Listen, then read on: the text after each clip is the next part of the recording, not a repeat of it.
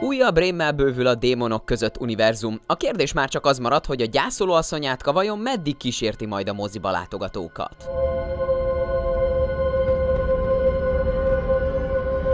Egy bizonyos James Wan nevű úriembernek köszönhetjük, hogy a rémizgető szellemek az utóbbi években visszalopóztak a mozitermek sötétjébe és a legrosszabb rémámaink közé. Ugyanis a maláj származású ausztrál szupertehetség rögvest két ilyen horrorfilmes univerzum megszületésében is közreműködött, hogy megzavarja a nyugalmunkat. Persze van az utóbbi időben túlságosan elfoglalt ahhoz például az Aquaman filmek teendőivel, hogy saját kezüleg egyengesse a démonok között és az Insidious filmek útját, így jobb hiány az előbbi univerzumot tovább bővítő, a gyászoló asszony átkának megszületése rendezésénél is csak producerként bábáskodott. A rendezés jogát az eddig rövid filmekkel foglalatoskodó Michael Chavez nyerte el, aki direktori debütálása mellé rögvest megkapta a démonok között harmadik levezénylésének feladatát is, így kijelenthetjük, hogy nagy felé a bizodalom. Hogy meghálálja-e a belévetett hitet, azt a gyászoló asszonyátka után még nehéz volna egyértelműen kijelenteni, de előjáróban maradjunk annyiban, hogy meg-megmutatkozik, miért is mellette döntött a démonok között jövőjét illetően van. De lássuk előbb, hogy most miféle rémmel is van dolgunk.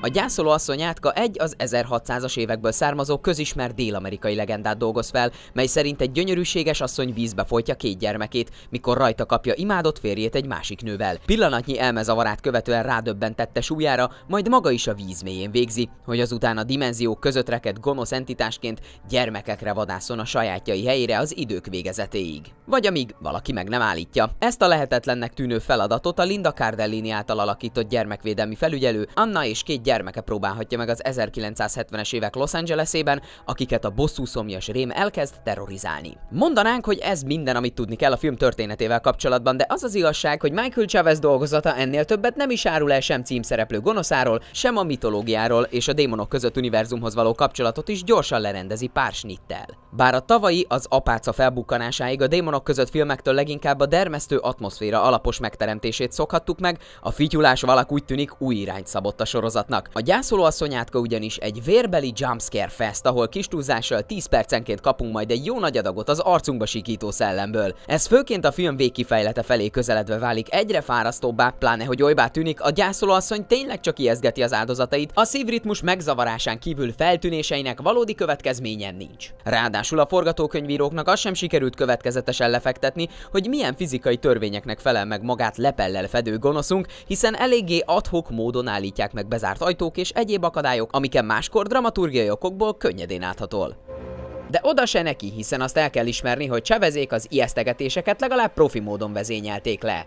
Hiába tudjuk, hogy a nyikorgó ajtók, a feszült léptek, a ziháló lehelletek, idegborzoló neszét hamarosan egy arcunkba és fülünkbe robbanó rémisztés töri meg, nehéz rájuk felkészülni, legalábbis a film első két harmadában, míg bele nem fáradunk a széken ugrálásba. Ugyanakkor az is dicséretes, hogy nem gondolták túl a filmet. A gyászoló asszonyátka nem akar többnek látszani, mint ami, nincs hamis intellektuális mondani valója, csupán egy felszesen levezényelt, sallagmentes, olykor egészen kreatív képi világgal dolgozó sok horror. Kár, hogy pont kidolgozatlansága miatt tucat szörny és irányuló cím címszereplője maradt teljesen jellegtelen, így tűnékeny alakjára már egy hét múlva alig emlékszünk majd. Nem úgy a terrorizált családra és a segítségükre siető Raymond Cruz által alakított aktuális démonűző Rafael Olvera figurájára. Nem kidolgozott jellemek ők, egyszerűen a szerepekre kijelölt színészek szimpatikusak. A gyerekek meggyőzőek, Linda Cardellini csodásan egyensúlyoz a sikító áldozat, és a gyermekeiért egy szellemmel is menő édesanyja figurája között, Cruz meg, nos, nincs jobb szó rá, mint a Beres. Mérlegre téve mindent, az efféle szórakozást kedvelők megtalálják megtalálják a gyászoló asszonyátkában az adrenalin pörgető pillanatokat, a többiek pedig lehet ejthetnek pár könycseppet a démonok között univerzum számára látszólag kijelölt új útirány miatt, de kívánjuk, hogy cáfoljon ránk Michael Chavez.